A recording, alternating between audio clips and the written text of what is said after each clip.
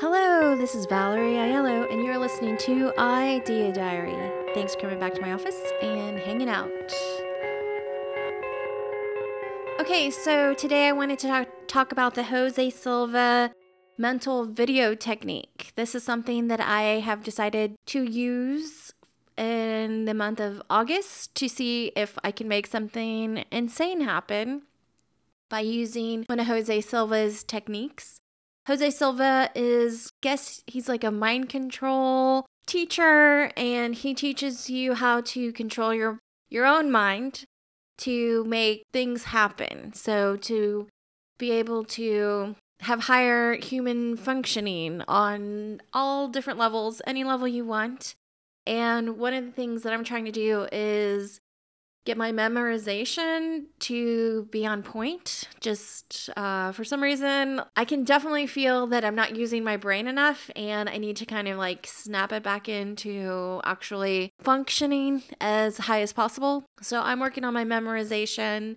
And also, always, I'm always trying to make like magical things happen and just to prove to everybody that you can use your mind with positive thinking and expectations, you can make things happen that seem impossible. So I'm always trying to think about that.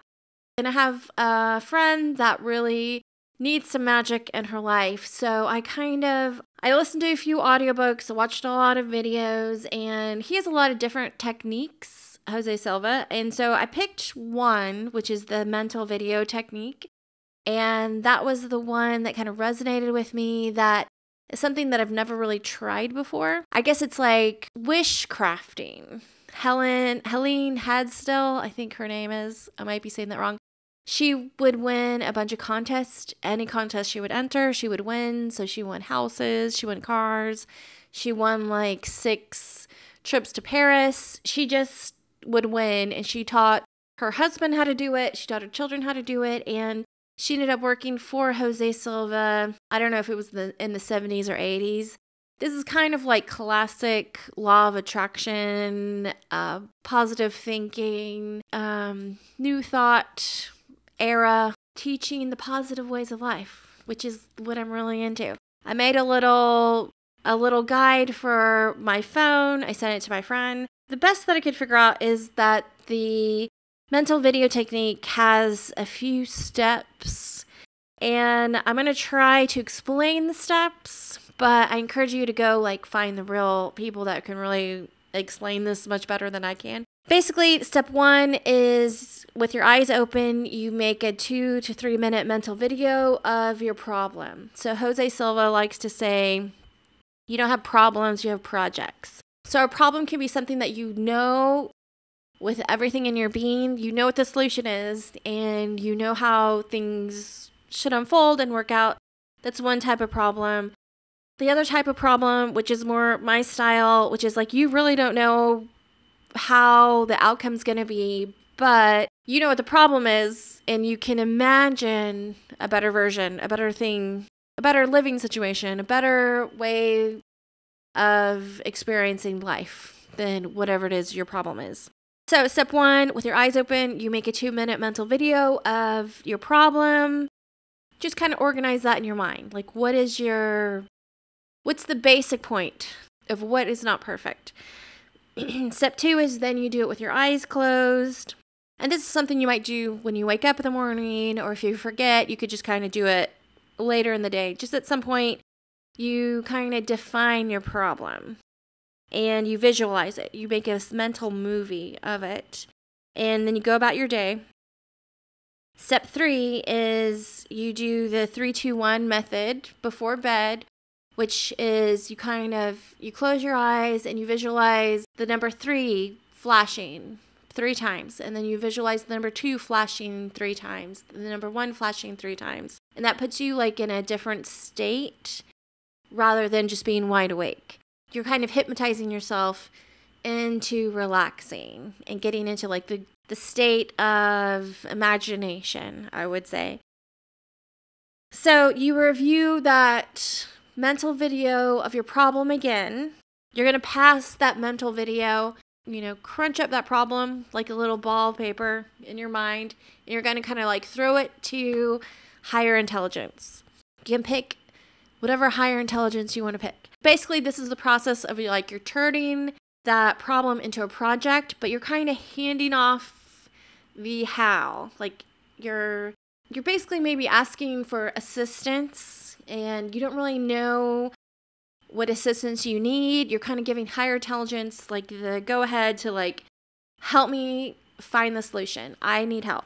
You mentally watch that problem go and then you just like let it go. Let it out of your system. You're not worried about it anymore, which is a huge thing I've noticed when you're trying to like make something happen. I don't want to say manifest because I feel like so I'm not talking about magically like a million dollars falling from the sky and landing in your lap. There are a lot of different things that you want that you want to happen in your life and you can make those things happen, which is positive thinking.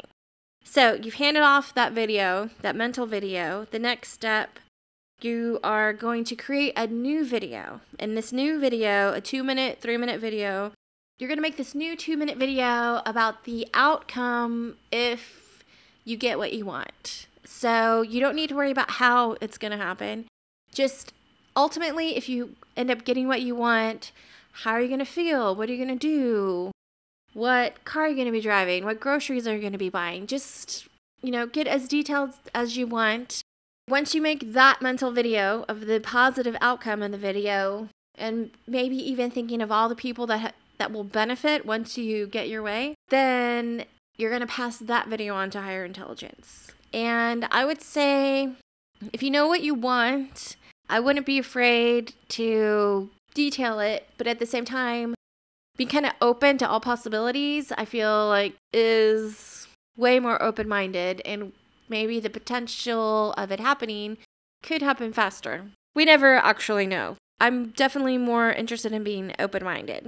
And Jose Silva would always talk about, been listening a lot of audiobooks of it and just listening to people talk about him. He said the more people that benefit from the things that you want, the faster the outcome is going to be.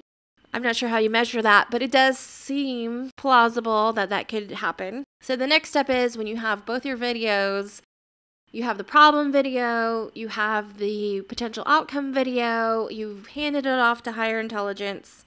You can kind of just like let it go and stop thinking about it, or you can kind of, you know, if it's something like close to your heart, I don't think it hurts to constantly think about it.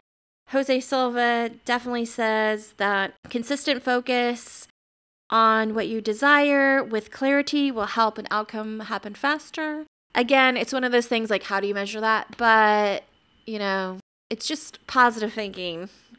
I feel overall can generate positive outcomes. Apparently, over the next three days or so after you've done this little mental video technique exercise, you're supposed to go throughout your day looking for inspired action that something that's telling you to try something or do something, go down a different street, make a phone call, um, or just kind of be aware of things. Like maybe you get a weird letter and you need to interpret that in some way for you to take inspired action. Or maybe someone just calls you one day and they say, Oh, here's a million dollar check. I, I totally forgot to, to send this to you. Oh, I'm sending it to you now. It's the things of the impossible can be possible and just maybe a little shift in your actions could bring about a totally different outcome. You know, whatever you're experiencing now is based on the thoughts of yesterday when we're in the now, we're kind of always a little bit in the past.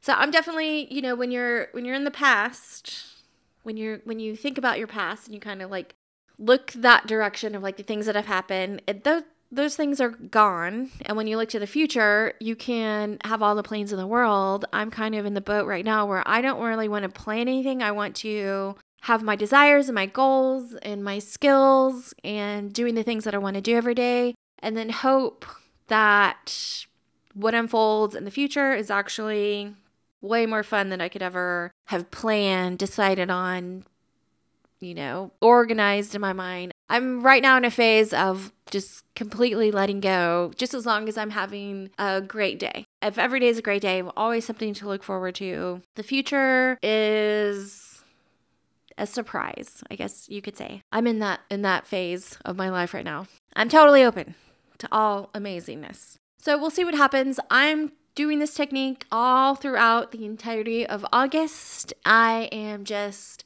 focusing on one project, one problem that I'm turning into a project. And I'm just uh, kind of see what the outcome is at the end of the month. If it doesn't happen at the end of the month, I'm not going to be like crushed or anything. But it's also kind of fun to make a weird positive thinking game for myself. And I think this method is perfect. You should try it.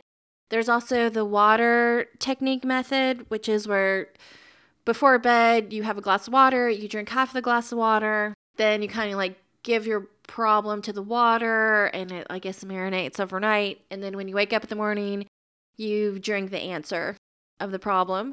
That to me was like a fun thing, but I I needed more. So this mental video technique definitely gives me like something good, something to imagine and we'll see. I guess it's sort of like buying a lottery ticket and hoping that you win. And if you don't win, your life's not over. But if you do eventually win, there are winners. You know, that could be you.